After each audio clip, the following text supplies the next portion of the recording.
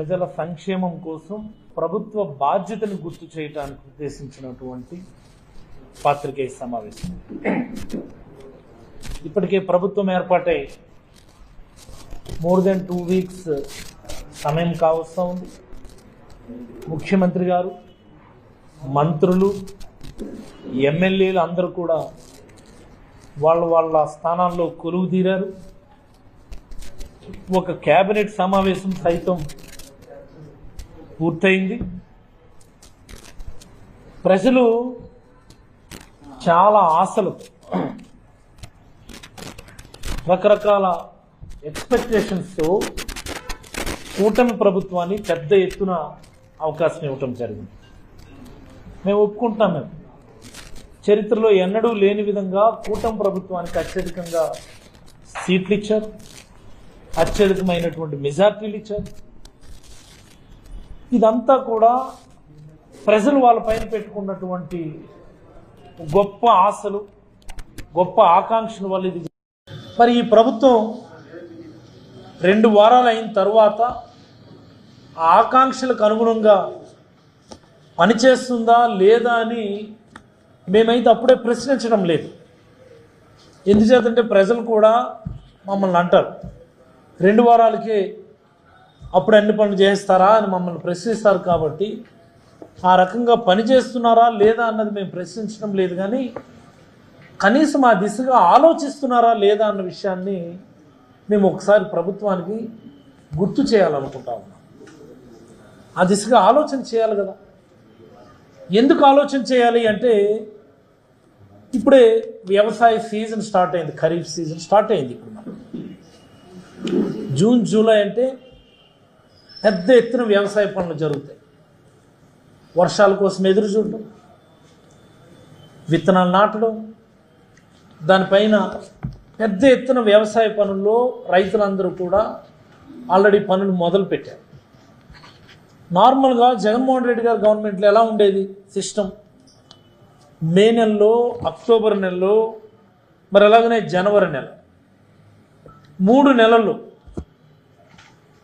రైతు భరోసాకు సంబంధించినటువంటి డబ్బులు రైతుల ఖాతాలో మనం జమ చేసేవాళ్ళం.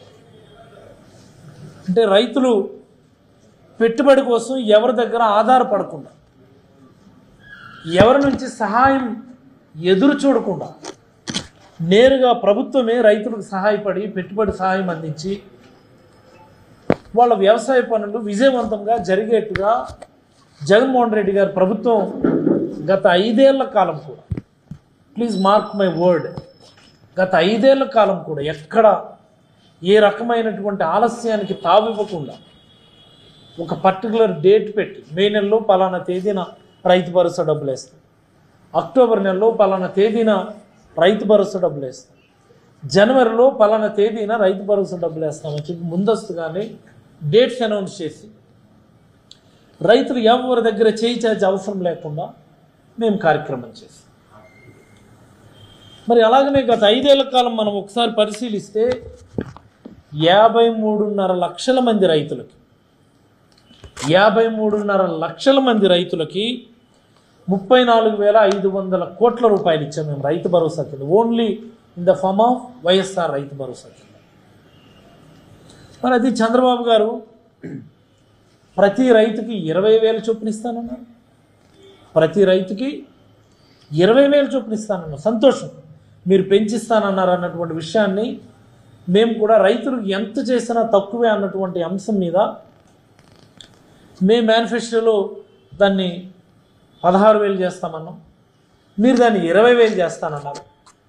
పేరు ఏదో మార్చుకున్నారు మీరు అన్నదాత సుఖీభవన్. ఎప్పుడు రెండు వేల పంతొమ్మిది ఎన్నికలకు ముందు నెల రోజులు పెట్టిన పేర్లు మళ్ళీ ఇప్పుడు మీరు దాన్ని తిరిగి తీసుకొచ్చారు.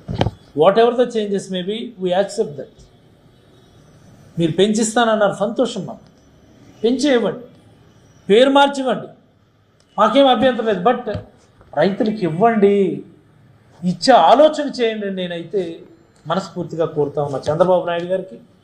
మరి అలాగే అగ్రికల్చరల్ మినిస్టర్ మన జిల్లా మంత్రి కింజరాపు అచ్చెన్నాయుడు గారు. మీరు ఛార్జ్ తీసుకున్నారు అచ్చెన్నాయుడు గారు? దయచేసి ముందు మీరు మీ ముఖ్యమంత్రి గారితో మాట్లాడండి.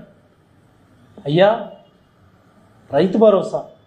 లేదా ది సోకాళ్ళ అన్నదాత సుఖీభావ. మనం దీన్ని ఎప్పటి నుంచి ఇస్తాం? ఎలా ఇస్తాం? ఏ రూపంలో ఇస్తాం? ఎంతమంది రైతులకు ఇస్తాం అన్నటువంటి వాటి మీద దయచేసి మీరు ఒకసారి మీ ముఖ్యమంత్రి గారితో కూర్చొని దానిపైన రైతులందరికీ కూడా క్లారిటీ ఇవ్వమని ఈ సందర్భంగా మా జిల్లా మంత్రి మంచి పోర్ట్ఫోలియో ఇచ్చారు మీకు. నా పోర్ట్ఫోలియో కూడా మీకే ఇచ్చినారు. మీరు దయచేసి ఒకసారి వెళ్ళి మీ ముఖ్యమంత్రి గారి దగ్గర కూర్చొని మాట్లాడితే ఆ మేరకు రైతులు సన్నాహాలు చేసుకుంటారు. వాడి దగ్గర వీడి దగ్గర చేబదులకు ఐదు వేలు పదివేలు అప్పులు తెచ్చుకుంటారు. మీరు పలానా తేదీకి ఇస్తారని ఒక మాట చెప్తే చేబదులు తీసుకొచ్చుకునేప్పుడు కూడా ఇదిగో బాబు పలానా రోజు నా అకౌంట్లో డబ్బులు పడతాయి నాకు అప్పు ఇవ్వండి అని చెప్పి ఎవరి దగ్గర అప్పు తెచ్చుకునేటటువంటి పరిస్థితి ఉంటుంది రైతులకి. కాబట్టి ఈ విషయాన్ని మీరు దయచేసి ముందు అచ్చెన్నాయుడు గారు మీరు ముఖ్యమంత్రి గారితో మాట్లాడండి అని మనస్ఫూర్తిగా కోరుతాం.